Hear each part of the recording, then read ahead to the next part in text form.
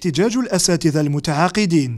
ما زال متواصلا بعد مرور أسبوعين على مسيرتهم من بجاية إلى العاصمة.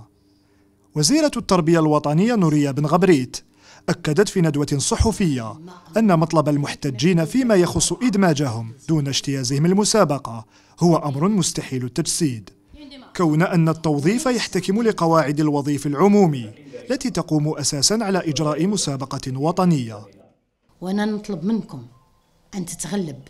الروح المسؤولية على الجميع.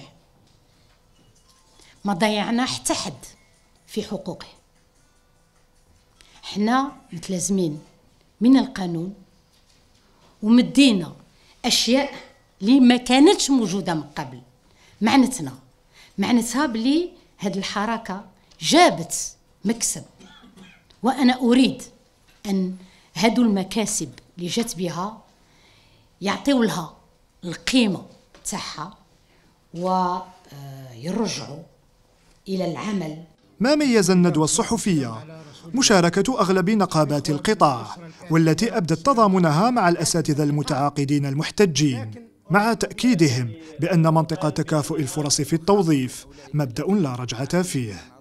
تكافؤ الفرص وتطبيق القانون هو الحل الأمثل الذي يرضي جميع المجتمع. هل يمكن مهما يكون وأنا نقول لكم أنا ضامن مع اللي راهم الآن في الميدان. ولكن كاين زملاء كذلك.